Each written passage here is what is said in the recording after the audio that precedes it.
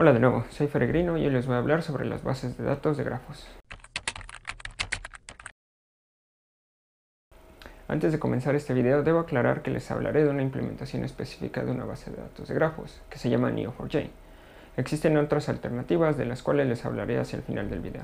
Ahora, si hablamos de grafos, tenemos que la definición de un grafo nos habla de nodos conectados por vértices entre ellos. En este caso hablaremos de vértices dirigidos. Usualmente tenemos que la conexión entre un nodo y otro es un vértice con un valor asociado, conocido como el peso. Si tuviste clases de estructuras de datos, seguramente recordarás algo sobre esto.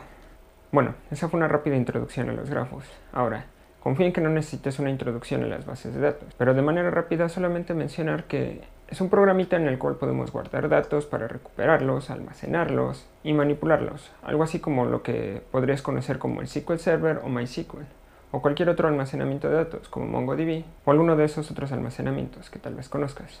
La idea de las bases de datos de grafos es que mucha de la información que conocemos y que almacenamos actualmente ya tiene una estructura relacionada y que es fácil de representarla en forma de grafos. El ejemplo más común es una red social, donde existen conexiones directas entre dos personas, como podría ser el caso de Twitter. Sin embargo, este no es el único ejemplo de grafos que aparecen naturalmente en la vida real. Las compras y los productos visitados en una tienda en línea, el organigrama de una empresa, la infraestructura en un centro de datos, o trámites y transacciones bancarias. Todos estos son datos que se pueden representar como grafos. ¿Tú puedes pensar en algún otro? Ahora, revisitando la definición del grafo de la que hablé anteriormente, podemos extender este modelo de datos de tal modo que contenga más información. Imagina que al grafo inicial, ese que solo tenía un par de nodos, le agregamos las etiquetas para indicar que unos nodos son jugadores y otros son equipos de fútbol. Luego le agregamos propiedades a cada nodo, con mayor información acerca de cada uno de ellos, independientemente. Pero bueno, ¿cuál es la relación entre ellos? Podríamos ponerle una etiqueta a la relación, ¿cierto? ¿Y qué tal si aprovechando le ponemos propiedades a esta relación? Justamente acabamos de describir el modelo de datos propuesto por Neo4j. Este es conocido como el Label Property Graph, o grafo etiquetado y con propiedades.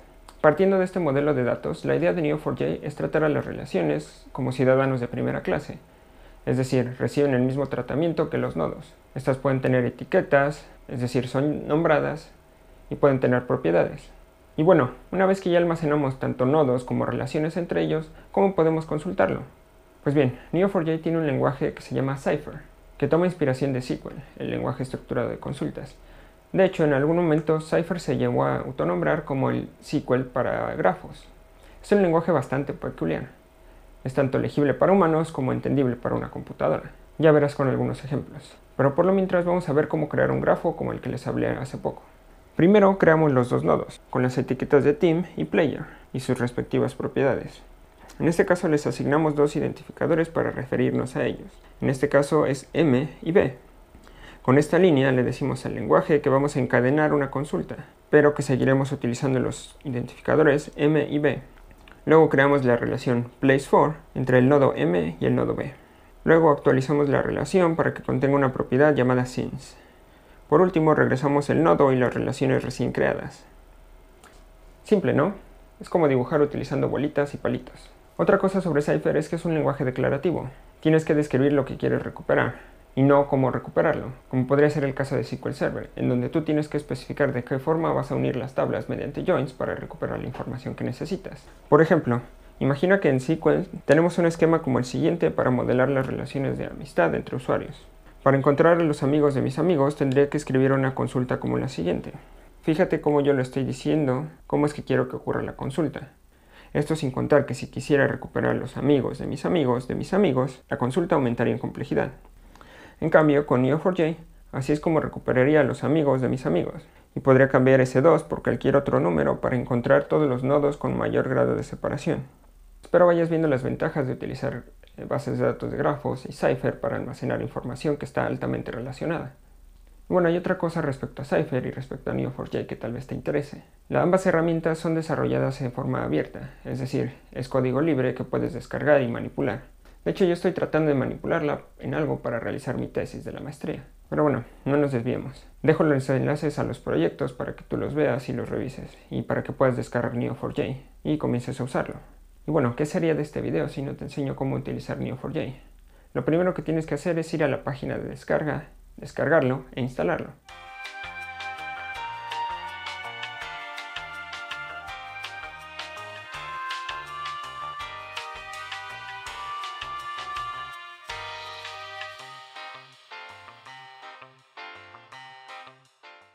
Hola, ¿qué tal? Pues aquí les voy a dar una introducción a cómo utilizar Neo4j, al menos cómo crear sus primeros grafos y cómo hacer consultas. Como acaban de ver, eh, acabo de, justamente de instalar este programa que se llama Neo4j Desktop. Viene con un proyecto aquí que se llama My Project, vamos a borrar este. Entonces vamos a presionar nuevo, vamos a ponerle un nombre, vamos a ponerle introducción, eh, aceptamos lo primero que vamos a hacer es crear un nuevo grafo. Eh, crear un, grafo local. Y le vamos a dejar el nombre por default grafo y le vamos a una contraseña sencilla. Hacer 1, 2, 3, 4. Esta contraseña no se olviden de ella, es muy importante más adelante. Eh, si van a hacer cosas más complejas, por ejemplo. Vamos a crear. Está creando un nuevo grafo.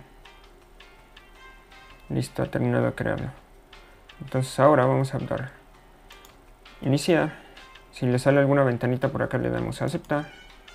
Esto es más que nada porque necesita abrir unos puertos a, través de los cuales se va a conectar. Este, si ustedes desarrollan aplicaciones en Java, en Python o en .NET, eh, hay una forma de conectarse directamente a la base de datos. Y bueno, ya una vez que inicia, vamos a dar en gestionar y abrimos el navegador. Este navegador es una interfaz que nos va a permitir interactuar directamente con el servidor. Aquí nos va a mostrar información sobre la base de datos, como por ejemplo la versión, eh, la edición, eh, el nombre de nuestra base de datos, que en este caso simplemente es GraphDB. En este caso vamos a interactuar solamente con esta caja de texto y los resultados que aparezcan acá abajo. Lo primero que vamos a hacer es tratar de crear este grafo que vimos en el video anterior. Es bastante sencillo. Eh, yo nada más voy a copiar el código. Les voy a dar enlace hacia este documentito donde estoy copiando el código para que ustedes también lo puedan hacer. Lo pegamos y si presionamos la tecla Escape, la ventana de texto se va a hacer más grande. Lo único que hay que hacer es presionar Control y Enter. Se ejecuta el código y como le dimos al final que regresar a los nodos, nos queda algo como esto. Si le damos clic, aquí podemos ver las propiedades de cada nodo así como la propiedad de la relación. Pero bueno, esto es bastante sencillo, ¿no? Solamente dos nodos, eso no es en realidad un grafo muy interesante. Pero ¿qué pasa si vamos a crear un grafo más complejo? Digamos que el de una red de amigos. Entonces lo único que vamos a hacer es copiar esta parte del script. Nuevamente presionamos Escape para que la ventana de texto se haga más grande. Y tecleamos, o en mi caso, pegamos nuestro código. Vamos a revisar más a fondo lo que está haciendo este script. Lo primero que está haciendo es crear estos nodos. Estos nodos que tienen la etiqueta persona, donde la persona tiene solo un nombre.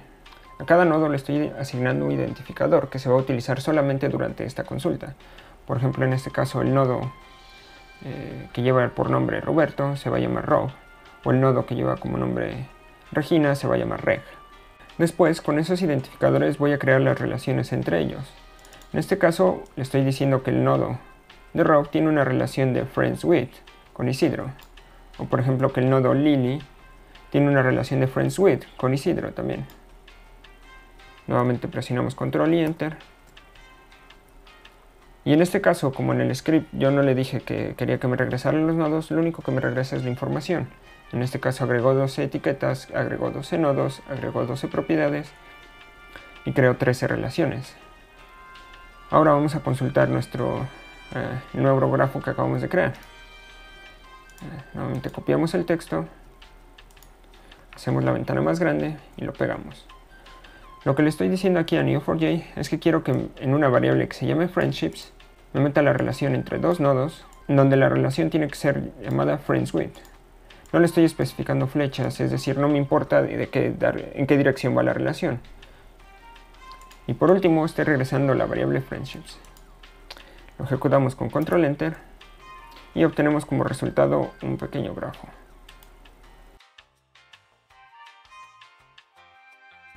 Pero bueno, ¿qué podemos hacer con este tipo de cosas? En este enlace pueden encontrar las instrucciones que pueden ejecutar para, realizar algunas consultas básicas en el grafo. Mientras volvamos al video donde terminaré de hablarles sobre unas alternativas a Neo4j. Como dije al inicio del video, Neo4j no es nuestra única alternativa para utilizar bases de datos de grafo. Existen por ahí otros proyectos, como por ejemplo OrientDB, ArangoDB, JanusGraph y AllegroGraph. Sin embargo, me parece que Neo4j es, entre todas ellas, la mejor, pero sin duda te tocará a ti comprobarlo y utilizar, claro, como siempre, lo que mejor te funcione. Pues bien, por mi parte fue todo por este video.